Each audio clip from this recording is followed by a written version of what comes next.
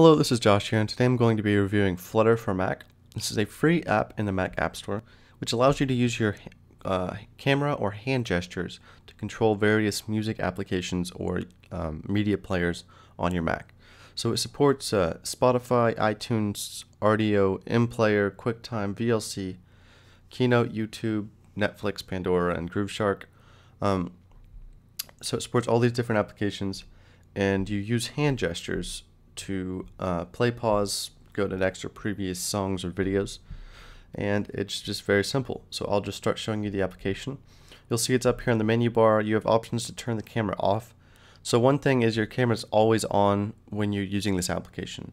So it might not be something you want to use if you're on battery power on a laptop or things like that just because it will use uh, a lot of uh, CPU, not CPU, it will just use a lot of uh, power just keeping the camera on things like that because it does have to constantly watch for if you're making a hand gesture or not.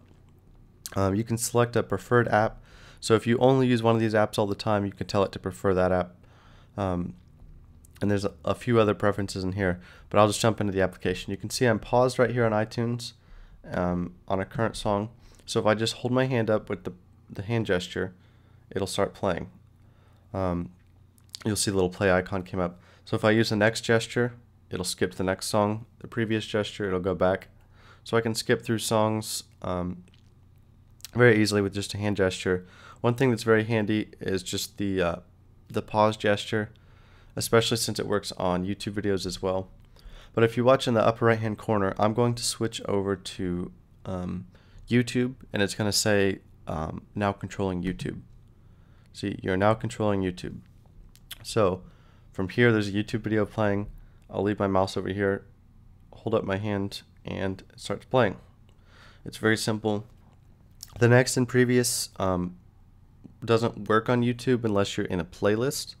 So um, that's not super convenient. So it'll say no next video to play.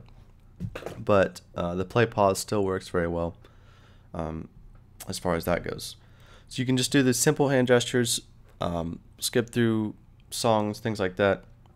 It's just very easy. You don't have to switch applications, uh, things of that sort. And also, uh, one thing I forgot to mention, to control YouTube, you have to install a Chrome extension um, so it can control YouTube.